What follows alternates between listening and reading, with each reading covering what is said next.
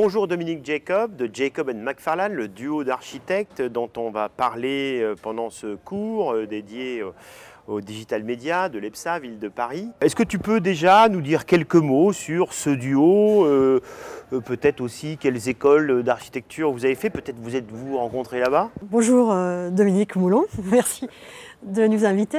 donc Jacob McFarlane, on est deux associés. Brendan McFarlane euh, mon associé qui, lui, euh, a grandi en Nouvelle-Zélande, est anglais, mais a fait une grande partie de son éducation plutôt aux États-Unis, à Los Angeles et à Boston. Et moi-même, donc Dominique Jacob, où j'ai fait mes études à Paris-Villemain. Et j'ai également fait aussi euh, des études en histoire de l'art à Paris 1.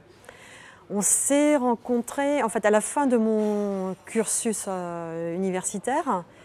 Euh, je ne me sentais pas prête pour euh, aborder la vie active tout de suite, malgré quelques stages.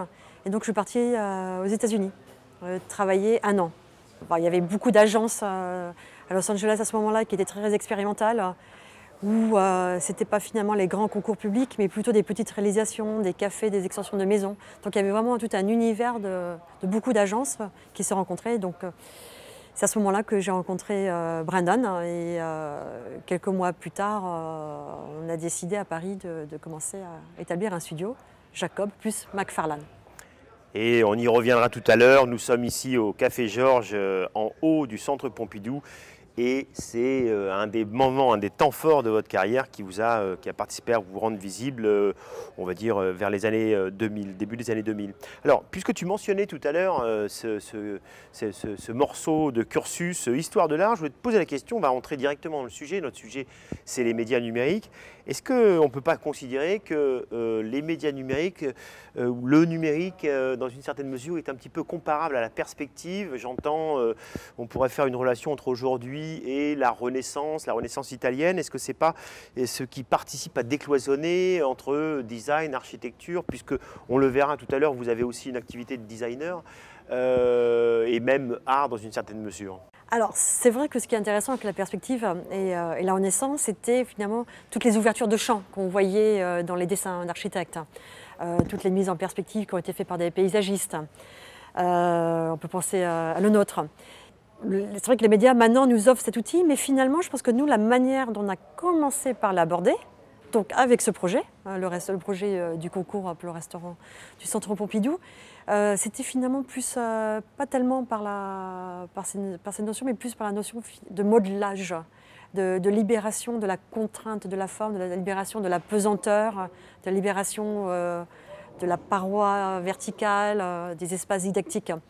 Donc c'est, euh, je pense, une libération, je pense, spatiale, ce qui fait la différence donc, par rapport euh, à, l'origine de la, perspective.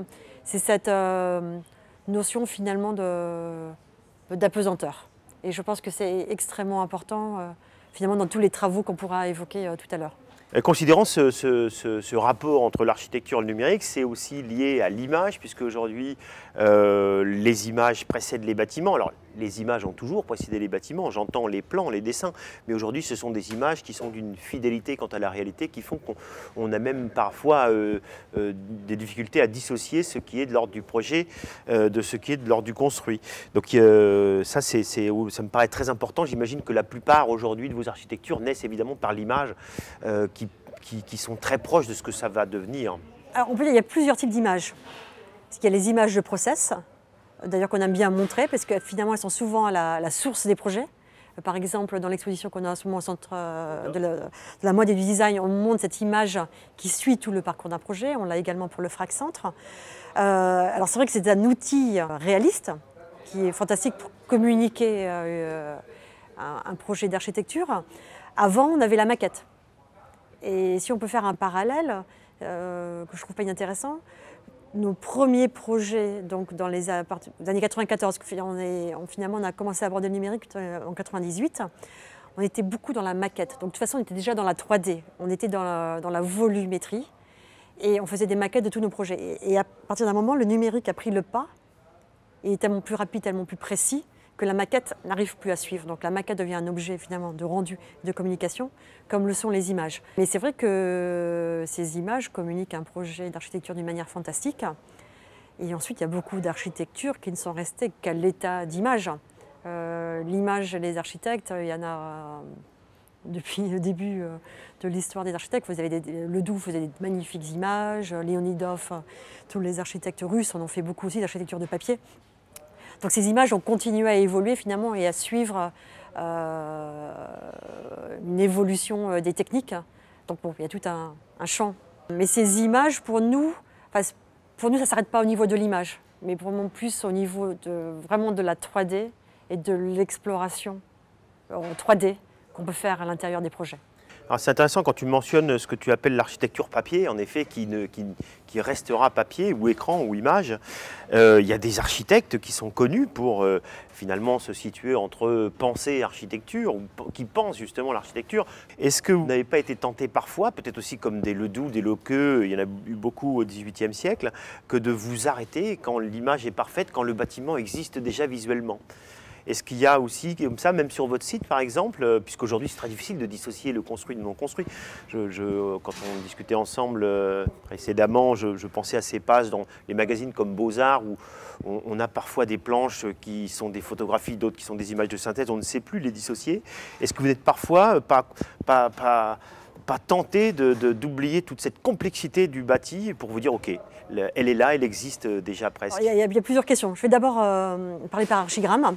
Parce qu'ici, on est au centre Pompidou et Archigram était quand même dans les années 60 un groupe euh, extrêmement visionnaire, euh, avec le projet euh, Walking City, la ville qui marche. Et le centre Pompidou, finalement, est très inspiré de Archigram.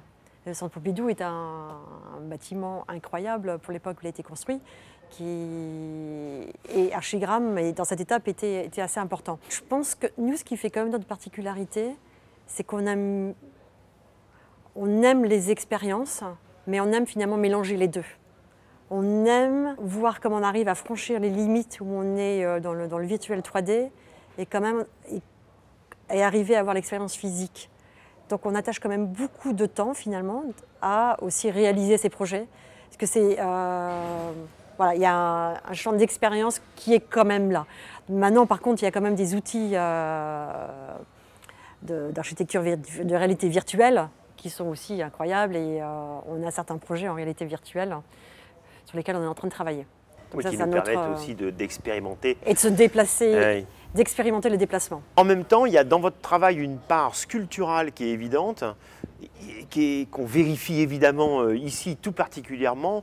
Euh, on est dans un musée, euh, dans cette partie, il y a un usage qui est le restaurant, et de l'autre côté, on pourrait très bien imaginer ces formes-là comme vidées de leur usage et comme étant purement des sculptures. Donc finalement, vous n'êtes jamais très très loin du geste sculptural, si ce n'est que vous avez, il me semble, cet attachement à l'usage, à l'humain. C'est ça qui, qui finalement j'ai presque envie de dire, vous interdit le, geste sculptural pour le geste sculptural C'est la différence finalement entre artiste et architecte. C'est qu'un un architecte, c'est vrai que des fois on se pose la question, mais un architecte euh, répond d'abord à une commande, tandis qu'un artiste se pose la question de la commande. Euh, et donc notre manière de, répondre à ces commandes, c'est finalement d'imaginer des espaces qu'on peut considérer assez sculptés. Mais euh, cette manière d'intervention, c'est, je crois, c'est notre vision finalement de, de l'espace, du vide, du déplacement. On réfléchit beaucoup euh, au corps, à comment le, corps se positionne dans un environnement, euh, comment il réagit par rapport à des parois. Souvent, ce sont les mouvements, euh, les vues, le vide qui conditionnent d'abord nos projets. Ici, dans, si on se, positionne ici, par, exemple au restaurant, on était dans déjà dans un lieu incroyable, avec une vue, un panorama sur Paris qui était incroyable. Et donc l'idée, c'était de garder ce panorama et d'avoir finalement de continuer la déambulation qu'on peut avoir dans un espace muséal, de continuer dans un espace qui s'ouvre sur un panorama. D'où cette idée de ce sol qui se déforme depuis euh, le cœur du musée, qui vient créer des espaces euh, utiles. Par contre, le restaurant, c'est tout ce qui reste. C'est le, le, négatif euh, du positif qui est nécessaire au restaurant. Et ça, ce sont des, notions qu'on explore dans plusieurs de nos projets qui nous intéressent euh, beaucoup. C'est euh, finalement, parce que tous ces outils ne sont qu'un outil, mais comment ils peuvent nous permettre de créer ces moments qui auraient été beaucoup plus difficiles à créer si on ne les avait pas eus.